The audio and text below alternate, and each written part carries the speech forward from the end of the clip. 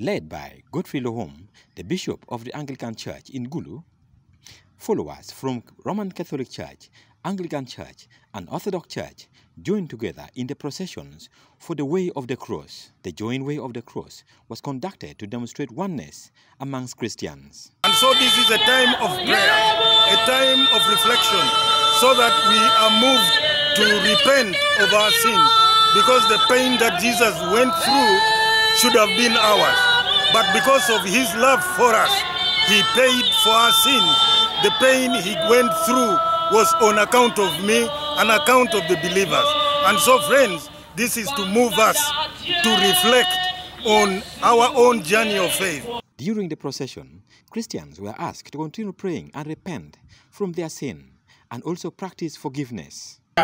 I urge all the Christians, brothers and sisters, that when we come to walk with our Lord in this passage to the, to the judgment and the death, let us put in our mind the faith.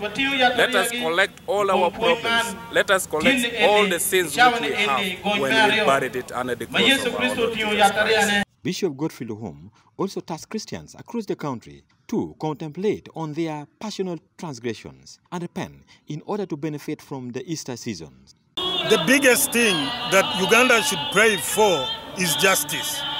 Because the Lord Jesus was condemned to die out of injustice. There was nothing, there was no justice at all.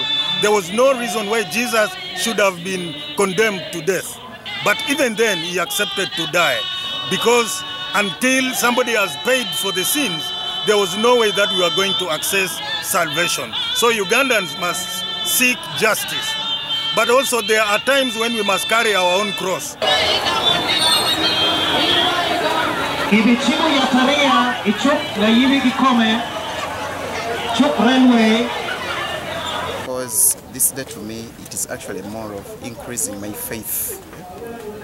I, as a Christian, each day I reflect where will I be? Where am I going after this life?